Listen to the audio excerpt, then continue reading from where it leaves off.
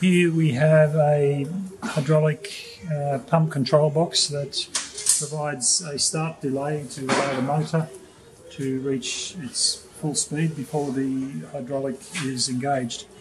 The hydraulic solenoid The coils. solenoid coils. Yeah. Um, and that allows the motor to not start under load. Um, the motor has full speed before the load is applied to the to the motor, and therefore we don't run the risk of overloading the motor due to hard starting or anything like that. So what do we got inside this control panel? Um, simple contactor for the motor, DC power supply. So here we have a 24 volt DC power supply to provide power for the coil for the um, for the solenoids as well as the handpiece. Handpiece operates at 24 volts, which is much safer than 240. And a small time delay to allow that starting delay that we need. And these And- contactors here, what do they do? These relays. Oh, relays, sorry. Yeah, the relays um, control the solenoid as well as the main power contactor.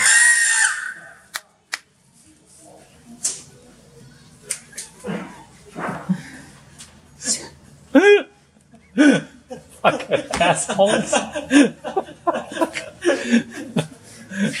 We're fucking recording here and over there. All right, keep going. This is a good, Okay. good. This will be a good outtake. All right. Uh, so, to for example, here is one direction. I'll do that again. You'll see the end. The motor will start, and then a second and a half or two seconds later, the solenoid will engage. So we've got this set now at to to supply up to 2,000 psi of pressure.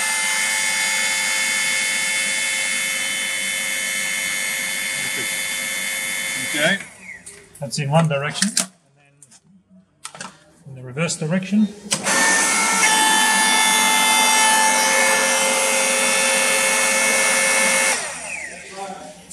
Cool.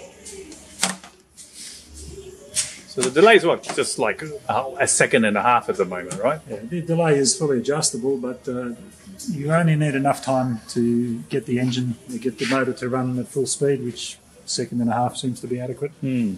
A longer delay is just a waste of time, I think. So this control panel is wired up, so all you need to do is plug and play. What about the main supply? Here's the main supply going to the the board over there. It supplies with a normal 10 amp 3 pin plug. The, the hydraulic motor plugs in,